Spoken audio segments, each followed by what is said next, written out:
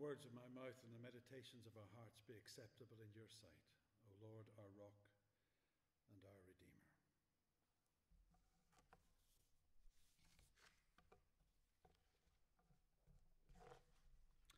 I don't know if you watch YouTube at all. Um, I do. I, lo- I watch all kinds of. Well, I call them wonderful, my wife calls them weird. Um, there's one in particular I watched that uh, has to do with naval history. Um, and it's um, the, the person who, who does it, or the channel is called Drachinifel. Uh, Ruth says that that man has the most boring voice uh, in the world, and it would put you to sleep after five minutes. I don't agree. I find the stuff fascinating. Do you want to know what I learned um, the other day? Now, don't fall asleep. Um, I learned that there was, there was a, a part of a program about HMS Victory and they're restoring it at the moment. They're taking away um, some of the, the outer planks that have rotted, and uh, they're um, very carefully examining the, the structure that's underneath, and they're going to put some, out, some new outer planks on. But what I learned as they were talking about it was that those outer planks, when they first built HMS Victory, those outer planks that keep the water out, so they're quite important, were designed to last nine years. That's all. They thought when they built HMS Victory, they would have to replace those outer planks after nine years. I, I don't know about you, but I was shocked by that. I mean, it, it's amazing that it's lasted so long, really. It was designed really with a, a shelf life of about, about nine years before you had to do something with it. There are a lot of things that are built in our world to, to last a long time, but there are also a lot of things that are built to last a short time. There is the, the thought that goes around that modern day washing machines, fridges, and all the rest are built uh, to last just a short while and then be chucked away. You can't get the parts for them. They have to just be put away, and you have to buy a brand new one that, of course, works so much better with all the whizzy lights and dials and and all the things that you know you spend half an hour in a, in a book trying to understand. Some of the things in God's Word that God talks about were designed to last for all eternity. But some were designed to last for just a short while. And that's what this passage is talking about. This passage, the writer to the Hebrews is talking about all the rituals, all the regulations that there were around the tabernacle and then the temple, where the sacrifices were made, where the priests went into the holy place, and then the Holy of Holy Places once a year on the Day of Atonement, Yom Kippur. The Jews thought that these regulations, these things would go on forever. But the writer to the Hebrews tells us that they were there just for a short while. They weren't the real thing, they were just copies of something that was happening in heaven. And that's what we're going to think about today. He talks about the tabernacle. He talks about describing the rooms and, and what's in them, and then, and then says, But we can't discuss these things any further here. Isn't that funny? Do you ever get that when someone starts talking to you about something and then they go, But I can't talk about it now? And you think, oh, I was listening to that. I was quite interested in what they were going to talk about. But he doesn't. He's made his point. And the point he's going to make is that these things were just temporary. These things were there to cover over the sin of the people before Jesus came. And the key verse in that, in that part of the passage is to be found in verse 8. The Holy Spirit was showing by this that the way into the most holy place had not yet been disclosed as long as the first tabernacle was still functioning. There was a place into which the people couldn't go. There was a place into which sinful people were, were forbidden to go. It was just the high priest. He had to make a sacrifice for his sins and for the sins of the people as he went in. It's interesting to note that actually that sacrifice he made for his own sins and the sins of the people were for the sins that they knew nothing about.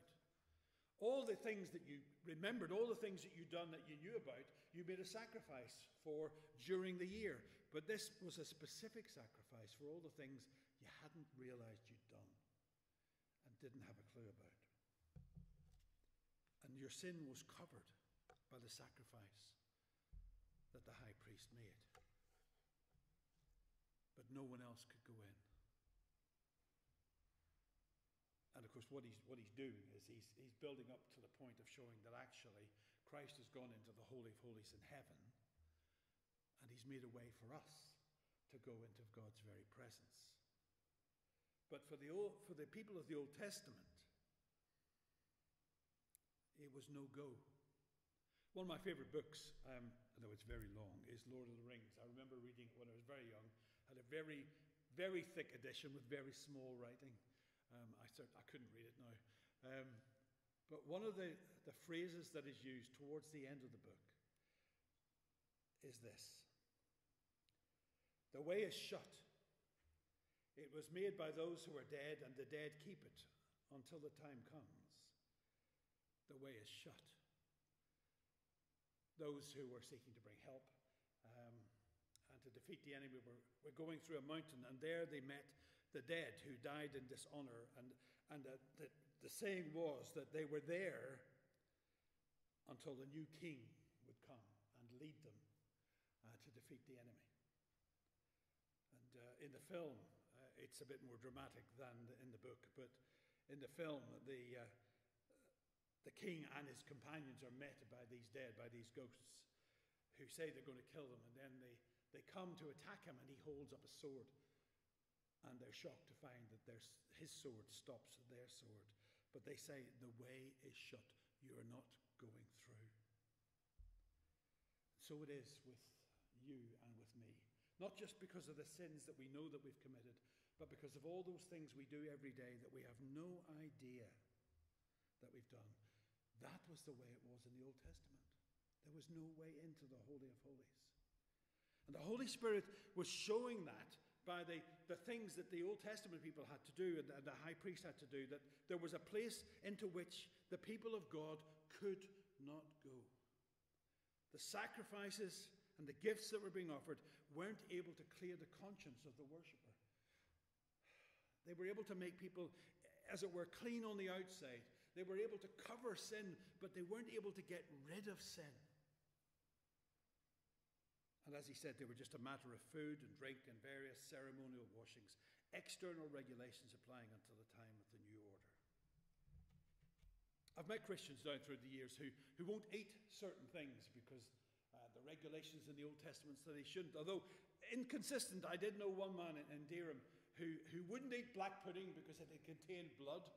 Well, there are all sorts of, I mean, I love black pudding, but there are all sorts of other reasons for you know, you know, not eating black pudding that you just don't like it. But, but he wouldn't eat it because the Old Testament says you shouldn't. But he still ate pork and he still ate seafood. And I used to say to him, but, but the Old Testament says you shouldn't eat blood, but it also says you shouldn't eat pork. It says you shouldn't eat seafood.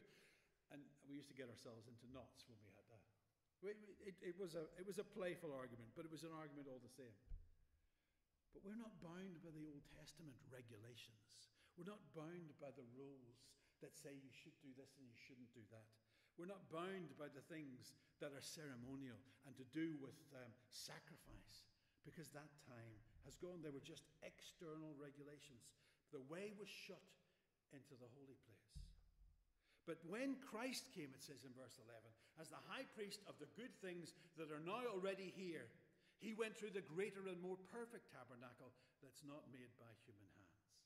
When Christ came, he went into the holy place of the real holy place, the one in heaven. And there he offered sacrifice that not only covered our sins, but took them away. In fact, it says in verse 14, How much more then will the blood of Christ, who through the eternal Spirit offered himself unblemished to God, cleanse our consciences from acts that lead to death, so that we may live to serve the living God?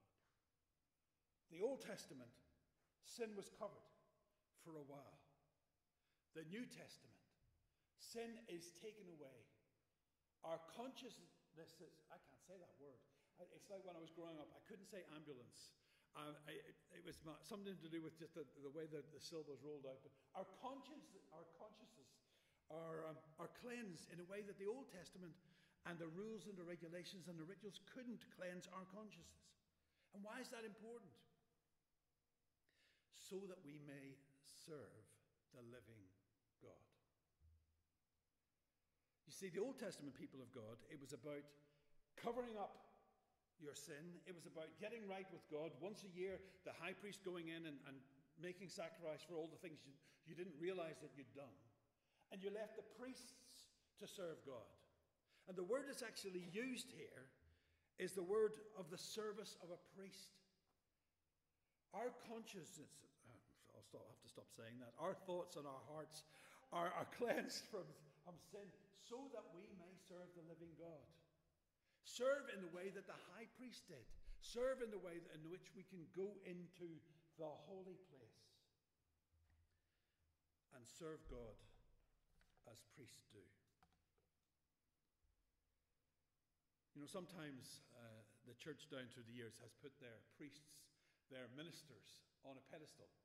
That's never a good thing because um, you put your minister on a pedestal, he or she are going to lose their balance and fall off. Um, so don't, don't do it. But, but down through the years, it's been thought that, that only those who are ordained can, can serve God in particular ways. It's only those who have been specially set aside who can do certain things. Well, that's not something we, we hold to. At least that's not something we hold to officially as part of the Baptist Union or, or in a free church. We still think about things that, you know, there's only certain people. Oh, no, the minister better do that. If you want it done right, get the minister, well, maybe not, but if you want it done right, get the minister to do it. But actually, no. Our hearts have been cleansed in a way that the Old uh, Testament people's hearts have not been cleansed. We, don't, we do not have to depend on priests to get us close to God. We can all serve God because He cleanses us on the inside as well as the outside. Spurgeon puts it like this The kind of service here mentioned is not that which the slave or servant renders to his master, but a worshipful service such as priests render unto God. We that have been purged by Christ are to render to God the worship of a royal priesthood. You hear that. It is ours to present prayers, thanksgivings, and sacrifice. The work of Christ on the cross is the real thing. The Old Testament regulations were meant just to be a shadow that reminded us of what was to come in Him. The Old Covenant, as, as, as the, the writer says, in the past, Moses said, The blood of the covenant which God has commanded you to keep. It was about keeping the rules. It was about keeping the regulations. It was about doing what you're told. And it was about making sacrifice when you failed in that.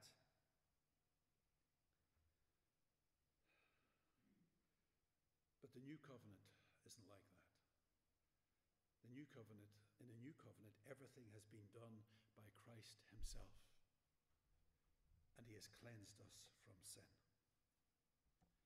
We need to live in the light of that cleansing. We need to live in the light of that forgiveness. Now, then, he does take some time to talk about a will, and that you don't, a will isn't put into effect um, unless you're dead, which I suppose is fairly obvious, but um, uh, we're going to we're gonna leave that, that little bit um, because actually we, it's something we might need to come back to. Um, but what the, the end of the chapter tells us is that Christ didn't enter a sanctuary made with human hands, a copy of the true one. He entered into heaven itself and into God's presence. And it tells us that he doesn't do it again and again like the, the, the priest did in the Old Testament. He did it once and for all. Christ does not suffer many times, he suffered once. His work is done, His work is finished.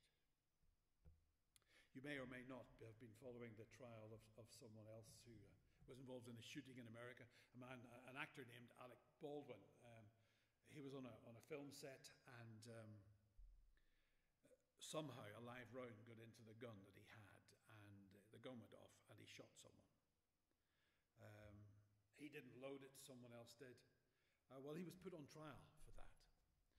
And unfortunately for the prosecution, they hid some of the evidence um, to do with that, that shooting, and they were found out. And this week, the trial was dismissed.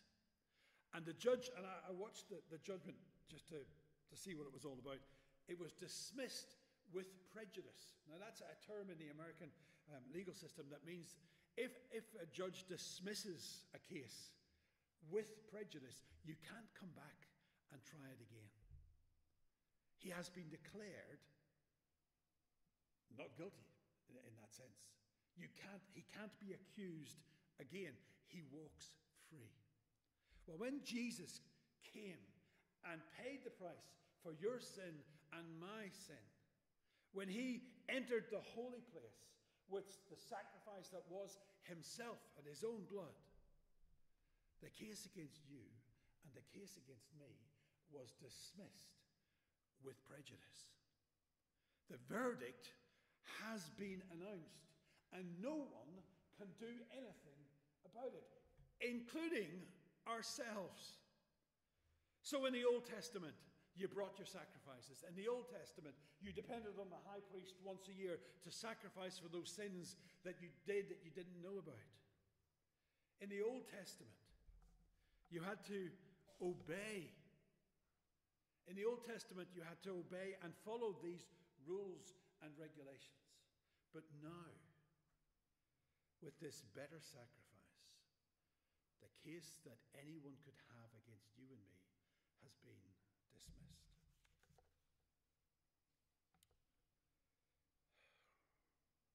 Do you know one of the most frustrating things I find is when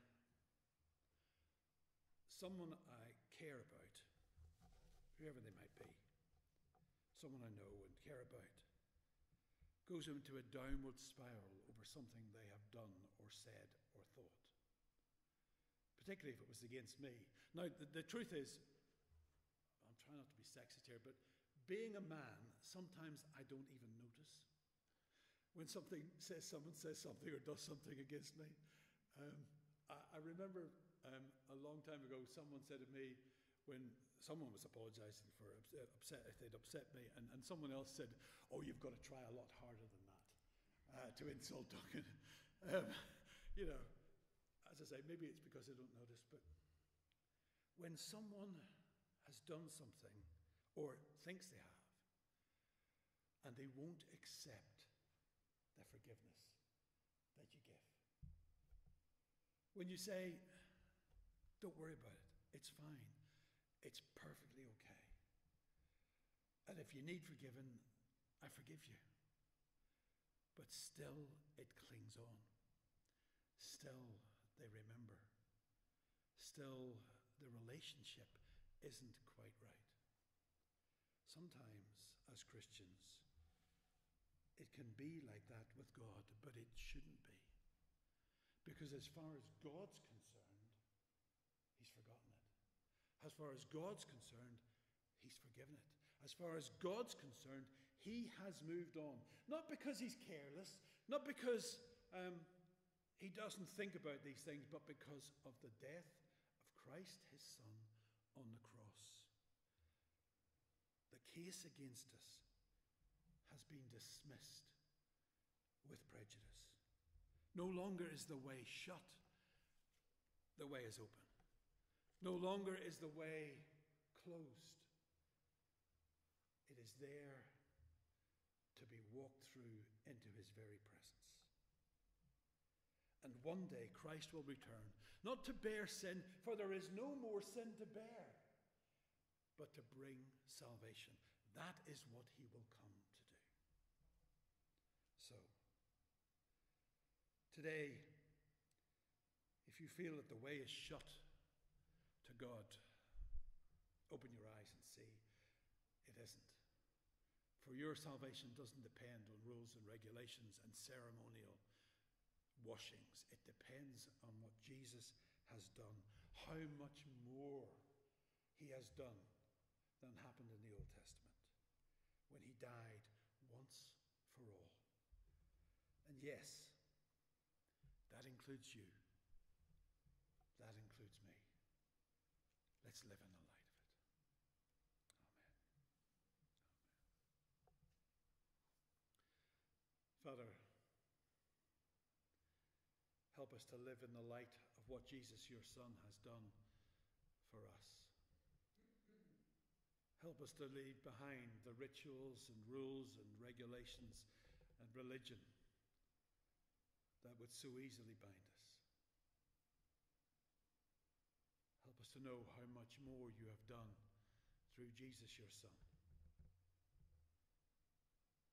And help us to know in all its reality that the case against those who follow Christ has been dismissed for all time.